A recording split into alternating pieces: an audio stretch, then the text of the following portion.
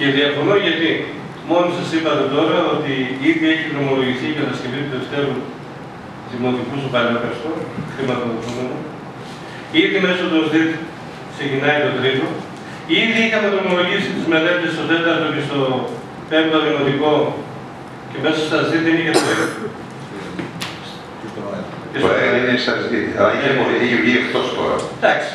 Αλλά γιατί είχαμε δρομολογήσει τις μελέτες η Γαλήνη με μόνο στόχο να ενταχθούν στη νέα προγραμματική περίοδο. Άρα, σε αυτή τη δύσκολη περίοδο που περνάμε και όσο πάει χειροτερεύει η οικονομική κατάσταση στη χώρα, δεν είναι δυνατόν ένα δημοτικό συμβούλιο να επιβάλλει νέους φόρους στην τοπική κοινωνία.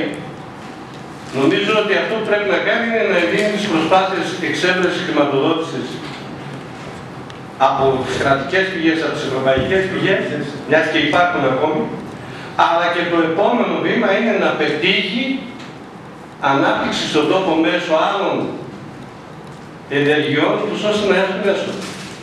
Πάντα τα φωτοβολταϊκά, σαν και όλα τα υπόλοιπα, τα οποία τα προβλέπει και το επιχειρησιακό, ας επισπιστούν οι, οι διαδικασίες αυτές, ώστε να έχουν νέα έσοδα από άλλες πηγές, ούτως ώστε αυτά τα έσοδα να τα κατευθύνουμε με αποφάσεις του Νομικού Συμβουλίου για την κατασκευή σχολείων και άλλων αναγκαίων κατασκευών και υποδομών που χρειάζεται ο Δήμος μας.